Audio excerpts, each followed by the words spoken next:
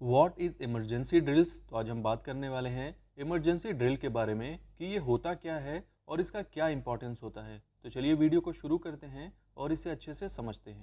तो fire drill एक ऐसा प्रैक्टिस मेथड है जिसकी मदद से हम लोगों को इमरजेंसी सिचुएशन को टैकल करने के लिए प्रिपेयर कर सकते हैं। तो ये एक ऐसा प्रोसीजर है जिसमें इन जैसे इमरजेंसी सरकमटेंसेस को रिस्पॉन्ड करने के लिए ट्रेन किया जाता है। जैसे fire emergency earthquake active shooter incidents इन सभी सिचुएशंस में खुद को दूसरों को कैसे सेफ़ रखना है, इसकी इमरजेंसी ड्रिल दी जाती है। तो फायर ड्रिल का जो मेन पर्पज़ होता है, वो है ये इंश्योर करना कि सभी को ये प्रॉपरली मालूम होना चाहिए कि इमरजेंसी सिचुएशन ऑकर होने पर क्या एक्शन लेना है।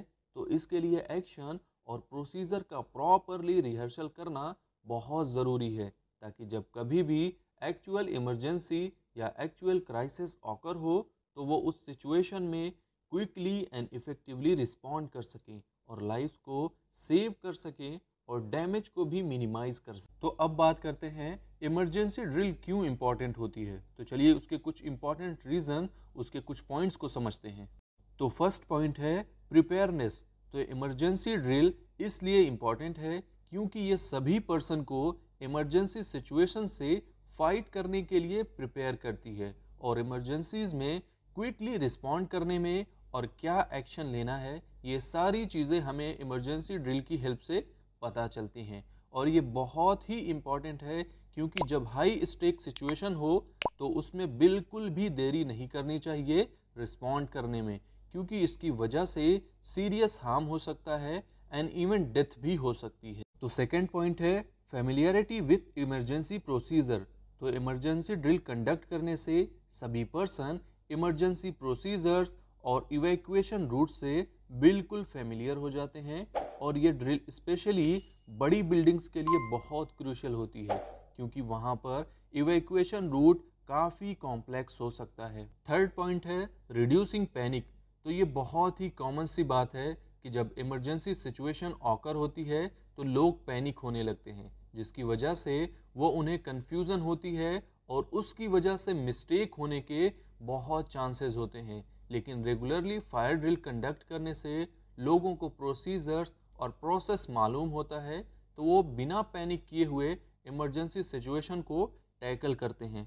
तो फोर्थ पॉइंट है टेस्टिंग प्रोसीजर्स एंड इक्विपमेंट्स तो इमरजेंसी ड्रिल कंडक्ट करने से आपको अपने इमरजेंसी प्रोसीजर को टेस्ट करने का मौका मिलता है, जिससे आप ये इंश्योर कर सकते हैं कि वो कितना इफ़ेक्टिव है और साथ ही साथ उस प्लेस पर मौजूद सभी इमरजेंसी इक्विपमेंट की टेस्टिंग भी हो जाती है, जैसे fire extinguisher, alarm system etcetera ताकि आपको ये इंश्योर हो सके कि सभी इक्विपमेंट प्रॉपर वर्किंग कंडीशन में हैं।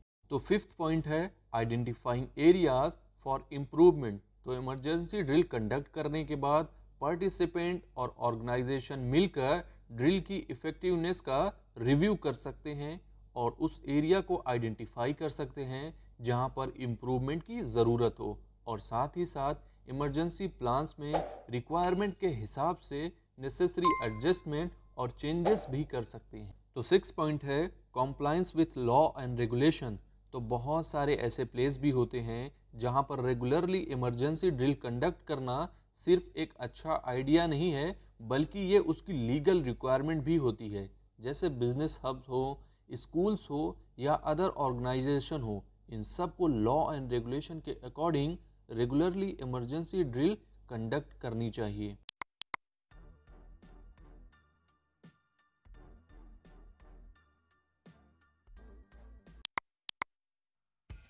आई होप आपके लिए ये वीडियो यूज़फुल होगी। और अगर आपको ये वीडियो पसंद आई है तो वीडियो को लाइक कर दें और चैनल को सब्सक्राइब कर दें वीडियो को अपनी फ्रेंड्स एंड फैमिली के साथ ज़्यादा से ज़्यादा शेयर करें। और कमेंट करके बताएँ नेक्स्ट वीडियो आप कौन से टॉपिक पर